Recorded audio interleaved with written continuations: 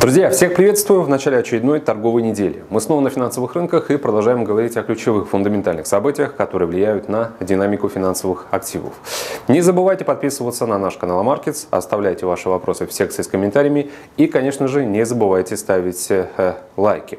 Также напоминаю, что в описании к этому ролику вы сможете найти ссылку на наш официальный телеграм-канал Markets, где на ежедневной основе мы постим большое количество аналитического контента вам э, в помощь.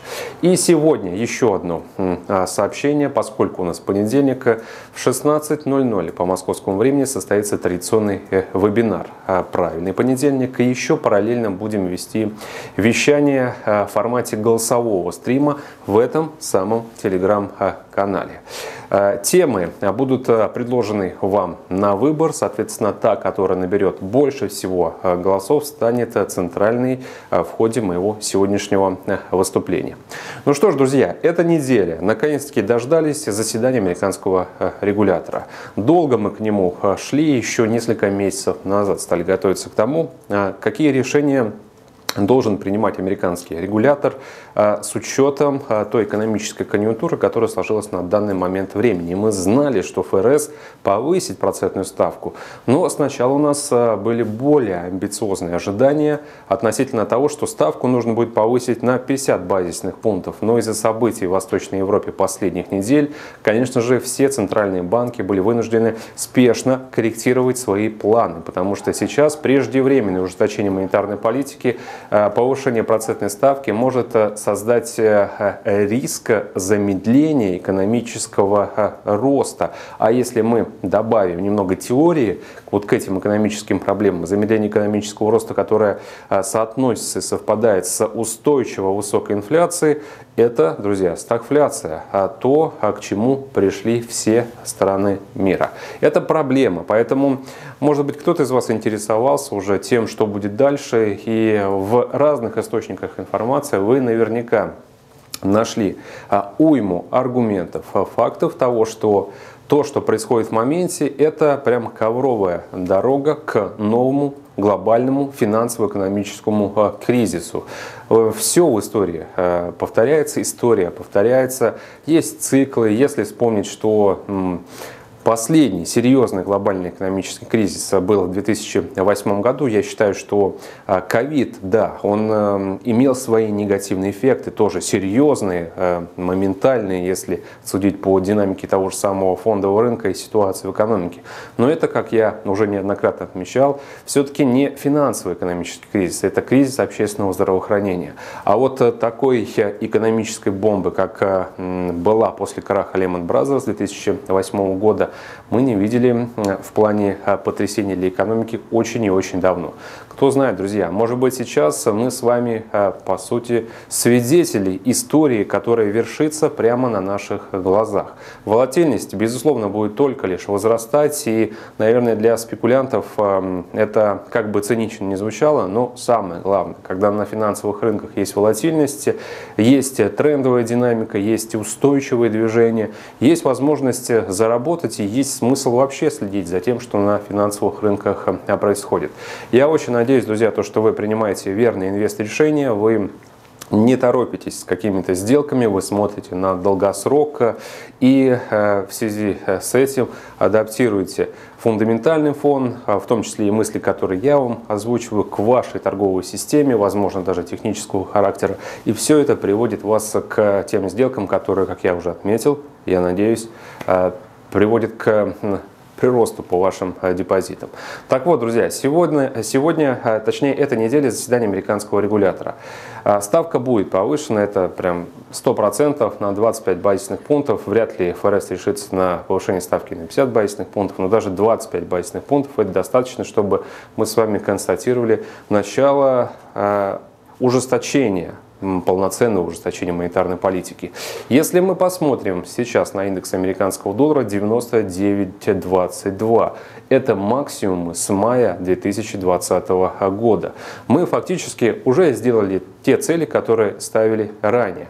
А супер целью было добраться до сопротивления психологического уровня 100 пунктов. Но судя по тому, как индекс доллара растет в моменте, я думаю, что 100 пунктов – это уровень, который падет прямо в ближайшие дни. А, соответственно, закрепление а, выше эм, этой отметки, это уже дальше будет дорога к более высоким а, ценовым уровням и значениям.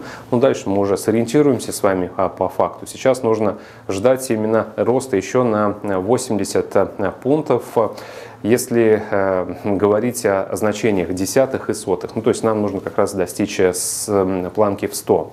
Основание для этого как я уже отметил, ожидание повышения процентной ставки как вынужденное действие регулятора, э, который должен бороться с инфляцией. Инфляция на основании тех данных, которые мы получили на прошлой неделе, достигла нового многолетнего максимума, 40-летнего максимума и коснулась 7,9%. И более того, я, друзья, могу вам сказать, что с учетом роста цен на нефть, с учетом еще сохраняющихся некоторых э, последствий э, пандемии, Э, рост инфляции продолжится. Это не значит, что 7,9 э, текущая планка это вот пик, э, после которого пойдет на спад индекс потребительских цен. Нет, он будет и 8%, 8,5%. И видел неоднократно, кстати, прогноз роста индекса потребительских цен до 10% уже к ноябрю следующего, точнее этого года. Я склоняюсь к тому, что индекс потребительских цен будет активно расти, поэтому много раз вам говорил, что, друзья, текущее значение инфляции это железобетонное основание для того, чтобы ФРС постоянно повышал процентную ставку. И такое же железобетонное основание покупать индекс доллара без свопов на долгосрок как самую, возможно, прибыльную, интересную и практически безрисковую сделку 2022 года. По другим финансовым активам евро против американца ждали мы пробоя отметки 1.10, шортили, поскольку рассчитывали на движение евро еще ниже. Оказались правы, сейчас котировки уже 1.0914. Заседание Европейского центрального банка ничего нового, ставки на прежних уровнях.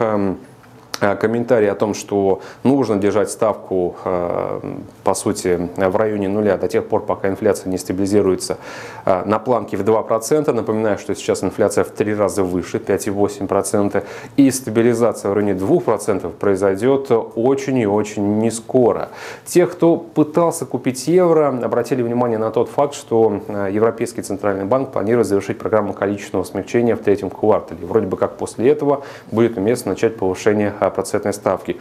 Но третий квартал, друзья, это так эм, не скоро. Последние две недели доказывают нам, что определенного рода новостной фон даже за короткий промежуток времени может э, э, привести к сокрушительным последствиям для всей мировой экономики. Поэтому на третий квартал я Сейчас не рекомендую вам смотреть, ждать там погоду в море. Нужно работать с тем, что есть э, прямо здесь и сейчас. А здесь и сейчас у нас глобальные риски, та же самая стагфляция экономики еврозоны, а, потенциальный энергетический кризис, э, потому что мы все еще, как и все трейдеры, которые следят за ситуацией на рынке углеводородов э, и отношений событий в Восточной Европе, допускаем, что может быть запрет поставок углеводородов из России в Европу. И это тогда будет жуткий кризис, исходя из того, что страны Европейского Союза очень сильно зависят от поставок, от импорта именно российских углеводородов. Goldman Sachs уже пересмотрели прогноз роста ВВП еврозоны на этот год с 3,9 до 2,5%. Это только, друзья, цветочки, ягодки будут а, после. Евро я а, рекомендую держать в шартах с целями 1,08, 1,07. Доллар иена 117,75. Максимальные значения с 2016 года. Все цели мы сделали, поэтому я сегодня со спокойной душой рекомендую закрываться уже и оставить в покое этот дуэт финансовых активов, потому что он принес нам очень хороший профит.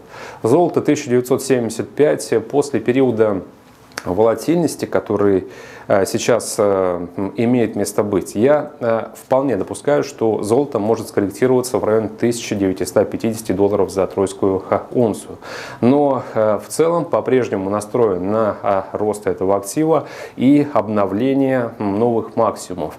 Вы для себя уже решаете, друзья, какие у вас депозиты, какая у вас терпимость и приемлемость личная к риску, готовы ли вы сидеть в глубокой просадке, готовы ли вы, опять же, рисковать рисковать приличной частью депозитов, если будет э, просадка.